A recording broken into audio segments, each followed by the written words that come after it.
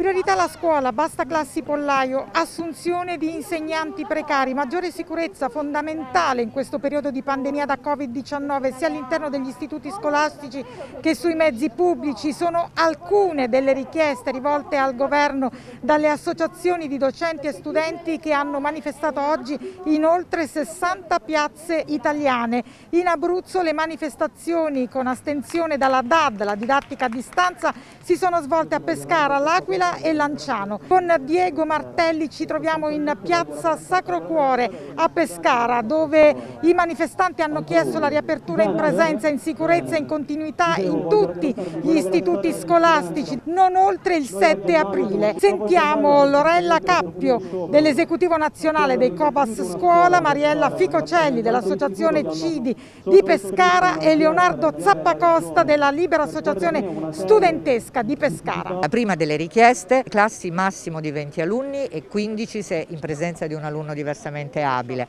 Questo comporta naturalmente eh, per avere classi più piccole abbiamo bisogno di un'assunzione, gran numero di insegnanti, di quei precari storici oramai, eh, storici e anche più giovani in realtà che oramai affollano le nostre graduatorie Terza richiesta importantissima, investimenti massicci sull'edilizia scolastica. Rendiamo veramente le nostre scuole sicure, non solo dal punto di vista sismico, ma anche dal punto di vista degli spazi.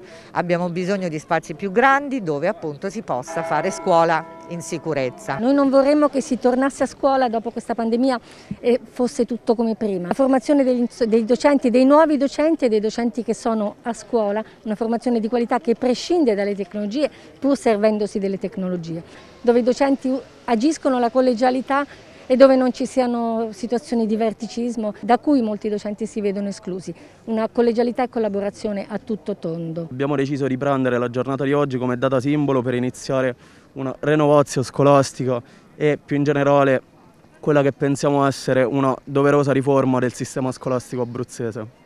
Queste sono le nostre richieste poi principalmente vertono ovviamente sul sistema della scuola e si parla di, di, tamponi al rientro e soprattutto di un miglioramento della condizione dei trasporti pubblici su cui ci siamo già battuti a gennaio e eh, di fatto non avendo risposta. Questa è stata la, la cosa che più ci ha smosso nel tornare in piazza e quello che ci porterà nuovamente in piazza a breve quando le condizioni lo permetteranno con tutti gli altri studenti.